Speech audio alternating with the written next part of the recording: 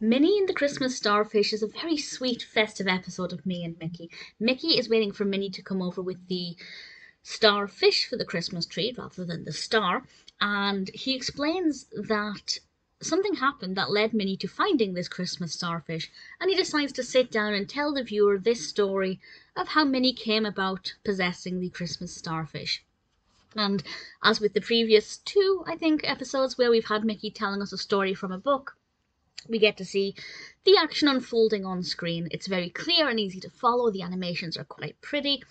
And then ultimately we get to see the Christmas starfish. I thought it was good fun. It's a nice way for people to pass the time, both in terms of young children and also if they're waiting for somebody to arrive.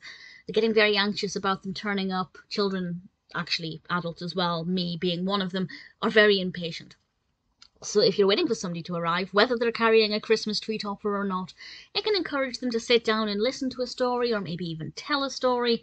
But certainly, it's a very sweet little episode uh, with a lovely story that's beautifully told, and I think it's something that will certainly appeal to the target audience.